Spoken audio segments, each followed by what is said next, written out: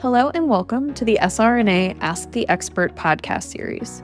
This episode is titled What is Ultomiris? My name is GG deFiebre and I moderated this episode.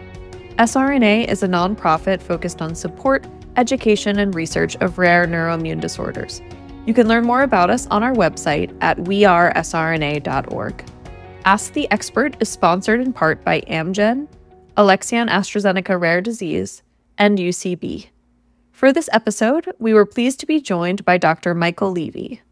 Dr. Michael Levy is a neuroimmunologist. He's an associate professor at Harvard Medical School. And at Mass General, he's the research director of the Division of Neuroimmunology and Neuroinfectious Disease, and also the director of the Neuroimmunology Clinic and Research Laboratory. You can view Dr. Levy's full bio in the podcast description. Thank you, Dr. Levy, for joining me today to talk about the newest FDA approved medication, Ultomiris. So, do you mind just starting kind of what is this medication? Yeah, Ultomiris or ravulizumab is the newest medication that was approved for neuromyelitis optica spectrum disorders.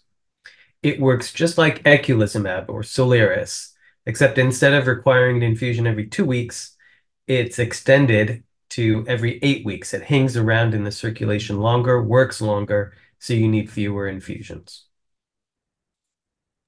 Got it. And how so how does it differ from Soliris besides just that dosing timeline? Well, they it, it really is just about dosing. They took the molecule, the Soliris molecule, which is an antibody. They made four small minor mutations or changes that allow it to stay in the circulation longer. So it's not degraded within two weeks as we currently dose Soliris, but it, it hangs around and so it lasts up to eight weeks or even longer. In, in the pharmacokinetic studies, it could even hang around up to 10 weeks, but we dosed it every eight weeks in the trial. And otherwise, it works pretty much exactly the same. It blocks and that has a, a, wonderful effect on NMO in preventing relapses. So one, one thing to clarify, though, is that just like Soliris, this medication is intended only to prevent the next attack. It doesn't do anything to heal damage from previous attacks or manage symptoms. It just prevents the next attack. That's a great point. And so you mentioned that it works on complement. Do you mind just talking a little bit more about how it works and what what that means? Yeah, there's a so complement is a system in your body. It's made up of just proteins. It's not cells. And these proteins respond to bacteria. So if you get an infection we're going to talk about some of them that are particularly important for complement. One is called Neisseria meningitis. It's a bug. It's colonized in the nasal cavity, and if it invades into the blood, it can then get into the brain and cause a devastating meningitis. And the complement system, the system of proteins that is designed to bind to that bacteria and destroy it if it tries to get into the blood. That system, that complement system, is co-opted by NMO. So NMO uses that system to destroy the spinal cord, destroy optic nerve tissue. And it's there. You could see the complement deposits in the tissue from NMO attacks. And this was recognized way back more than 20 years now when our Mayo colleagues first showed it under the microscope. And so the idea was, well, maybe if we block the complement system, we can block the damage from NMO attacks.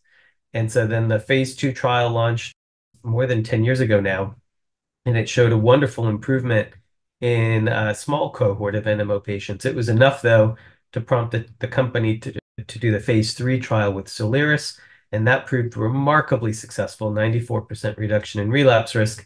And then that finally led to this trial because patients were complaining about every two week infusions. It's obviously very difficult. And they happened to come up with this technology to last, to make the drug last eight weeks instead of two. Got it. And so is it administered at home in an infusion center? Is it an infusion, an injection? Uh, do you mind just talking about how it's administered? Yeah, it is an infusion. It's much longer than Soliris. Soliris was 35 minutes, much quicker. That now it's two and a half hours per infusion. It is IV. It's not available sub-Q. I wish it was a pill, but it's not. It has to be given IV, but it can be given at home. It could be given anywhere.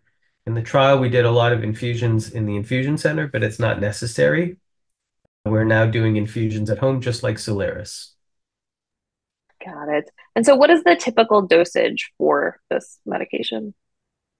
It's weight-based, but not, but it's weight-based into classes of, so there, the way that we did the trials is if you were up to uh, a certain weight, I think it was 60 kilograms, then you got the lowest dose, which was uh, 2400 milligrams loading dose, followed by 3000 milligram maintenance dose. If you were between 60 and 100 kilograms, which is where most people are, then you had a 2700 milligram loading dose and a 3300 milligram maintenance dose.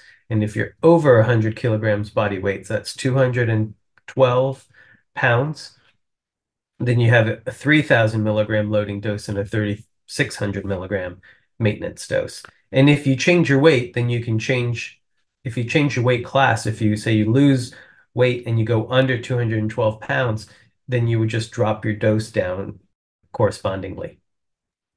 And so, what's the difference between a loading dose and a maintenance dose, and why are they different? The loading dose, I, I should clarify, while the maintenance dose is every eight weeks, there's an extra loading dose. So you would say you'd come in, get your first dose, a loading dose, then you'd get a, a second loading dose. I think it's two weeks later.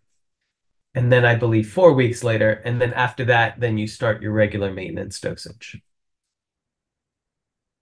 Got it. And so how much does it reduce someone's risk of relapse according to the, the studies that were done? The way this study was done is they didn't have a placebo arm to compare to. But what they did was they designed the trial to be just like the Soliris trial, so they could use the placebo arm from the Soliris trial, and then nobody had to risk being in the placebo arm. When they compared it like that, there were zero attacks. And so you could say, well, it was perfectly successful, 100% reduction in relapse risk. But statistically, you can't do that because you didn't enroll the entire NMO population of the entire world. So you can't be 100% sure. So statistically, we say it's 98% reduction in relapse risk. But again, we saw no attacks.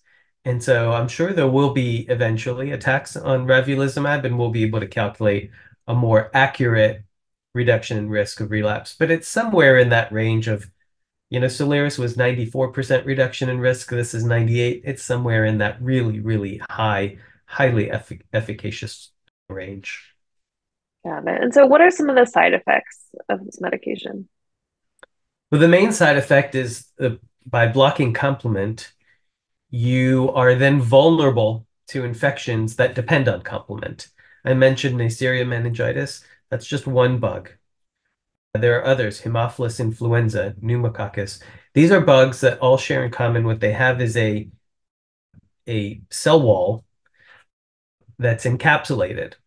And the complement system evolved in humans over time to be to be very good at breaking open these cell walls of encapsulated organisms. And we've become dependent on our complement system for that. And so if you're on a complement blocking drug like Soliris eh, or like Ultomiris, then you're more vulnerable to those types of bugs. Now we vaccinate everyone. And in many cases, we put people on regular antibiotic dosing. So maybe penicillin every day, or maybe you keep some ciprofloxacin in your medicine cabinet. So if you get a fever, you just take that. But that's what we're aware of is these is this risk for encapsulated organism infections. And we know that antibiotics work. And so it's really a matter of figuring out the best way to prevent these specific types of infections. And so you mentioned like vaccinations before someone starts this medication. What should someone or what does someone need to do kind of to prepare to start getting infusions? Well, we really want everyone to get vaccinated. And vaccines are a problem in NMO because some patients have vaccine injury, and that's a, a trigger for an NMO attack. And we recognize that. And we don't you know, we don't want to force people to take vaccine if they're strictly opposed, but we know that the vaccine is really helpful in preventing infections when you're on this drug. Now, another way to avoid an infection is to take a daily antibiotic, and penicillin is the easiest. And you could do that with a once a day pill. You could also, like I said, keep your antibiotics in the medicine cabinet. We know that the infections almost always start with fever. Fever, headache, stiff neck, those are the dangerous ones, but also pneumonias that start with fever and obviously, obviously develop cough and things like that. So there are ways around the vaccine, but we really want to try to get everyone vaccinated before they start taking the Ultomiris. And if they don't, then you absolutely have to take antibiotics until your vaccination is up to date. And so, what vaccinations are people supposed to get before starting? The the meningitis one is the big one. That's the scary infection in the brain, in the meninges around the brain. And that vaccine comes in two types. There's the ACYW. These are different variations of the same meningococcus bug. And then there's the type B, and those are separate vaccines. And Pfizer has a brand new one that just combines all five together. So you can get any of those, and there are schedules for that. Some vaccines require two shots, some require three. And if you're going to be taking the two separate, then that's a, a, up to five vaccines in one year. And we space them apart. And it sounds like a lot, but this is really for your safety. While you're on this drug, we know that you're vulnerable to this bug. In fact, about one out of every five kids in college has the bug in their nose and it's colonized in there. It's not causing harm. But then if you're on the drug and you come into contact with one of these people and that bug jumps into your body, then you know you're going to get the infection. And so that's the danger. It's not just that bug. As I said, Haemophilus influenza, most of us were vaccinated as children, but vaccine vaccines wear off and you might become vulnerable to that bug. Pneumococcus is another bug. Those are the top three, and there might be others that were that we, we just don't know about yet. But all of them cause infections. All of them cause pneumonias and meningitis and fever, and so we really do know what to look out for, and that is the major, major, major risk with this drug. And so, what ongoing medication, uh, what ongoing monitoring should occur when someone is on this medication? Do they need to get testing for anything? Any sort of skin checks that people have to do for maybe other medications? None of those. There's no, you know, you don't really have to get tested for anything else. We don't even have really good tests for vaccine efficacy. So some people have thought, well, you know, let me get this vaccine and then make sure that I responded well to the vaccine. We don't have really good tests for that. They are out there, but they're not widely used and we're not really sure how effective they are especially when you're when you have NMO and let's say you're on rituximab and you're going to switch, rituximab is going to blunt your vaccine response. So even if you're even if you're on schedule for your vaccines, we don't know 100% how well the vaccines work. So with all of that uncertainty, you know, we really do depend a lot on antibiotics. So the monitor monitoring really depends on you calling us if you get a fever, infection symptoms, cough, anything that's worrisome that can be one of these infections, we'll really want to start you on antibiotics right away. Or you can sleep easier. I can sleep easier if you just take the daily antibiotic. And so, if someone is pregnant, are they able to take this medication, or do we know about safety in pregnancy? We have no idea of the safety of this drug in pregnancy. The precursor, eculizumab, seemed to be safe. There were no official studies but there were no real toxicology studies either. We don't really know of anything that's harmful with Soliris, and this one is probably safe too. But until we really know, then officially we have to say we're not sure. Now, with my patients, personally, I would weigh the considerations. I would say, okay, this drug is doing really well for you. We know NMO attacks even during pregnancy, so we don't want to stop medications during pregnancy. So that conversation would come up. Do we continue this drug with you, even though we don't know for certain if it's harmful to you or the baby? Or do we maybe go back to something that we know is safer in pregnancy? For example, we have a lot of experience with rituximab. That one's not approved for NMO, and there's no official study in pregnancy, but we have a lot more experience with it, a little bit more comfort with it. And then, so in terms of this uh, FDA approval for the medication, is it FDA approved what does that mean? And is it only FDA approved for certain groups of people? It is FDA approved and only for certain groups of people who have the aquaporin 4 antibody. The aquaporin 4 antibody could have been tested previously, it doesn't have to be current because some people do kind of fluctuate in their levels and you might become negative and think that you're not eligible. That's not the case. If you tested positive in the past, you are eligible to receive the medicine according to the FDA label. And what the FDA approval does is it puts it on in the index pharmacopoeia the insurance companies use to determine who's what what drugs they're going to pay for. They may not always want to pay for Ultomiris. They may say, well, here's a lower cost alternative that we want that we prefer. But ultimately, then with the FDA approval, it makes it much easier to appeal to insurance companies and get it covered. Also, with government insurance, such as Medicare and Medicaid, they are more apt to cover this drug now that it's FDA approved as well. And so you, mentioned that this is approved in people who are aquaporin 4 positive. Do we know about the efficacy in people who are seronegative or don't test positive for this? Unfortunately, we have no idea. We don't know if this drug works in MOG. We don't know if it works in seronegative NMO or any other condition it's so expensive that we don't have a lot of experience just using it off label. Insurance companies are really, really picky, not likely to cover the drug unless you're aquaporin 4 positive. So we just don't have the experience with seronegative cases at the moment. And then anything else that I didn't ask that you think is important to mention about this new medication? Um, one of the things the drug company wants you to know is that it is cheaper than Soliris. I'm sure the insurance companies would be happy about that. I believe Soliris was about $700,000 a year, and this is in the order of $450,000 a year. So quite a bargain, almost half the cost.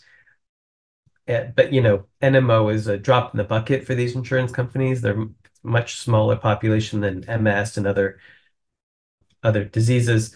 But still, for those of us who are are cost conscious, this is uh, significant savings over Soliris. Great. Thank you so much uh, for answering these questions. I really appreciate it. Happy to discuss it. Thank you so much.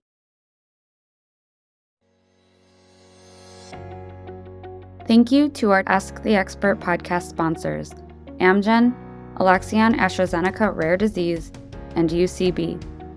Amgen is focused on the discovery, development, and commercialization of medicines that address critical needs for people impacted by rare, autoimmune, and severe inflammatory diseases.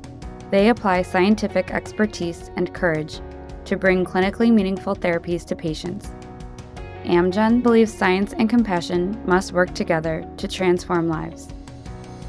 Alexion AstraZeneca Rare Disease is a global biopharmaceutical company focused on serving patients with severe and rare disorders through the innovation, development, and commercialization of life transforming therapeutic products. Their goal is to deliver medical breakthroughs where none currently exist, and they are committed to ensuring that patient perspective and community engagement is always at the forefront of their work. UCB innovates and delivers solutions that make real improvements for people living with severe diseases. They partner with and listen to patients, caregivers, and stakeholders across the healthcare system to identify promising innovations that create valuable health solutions.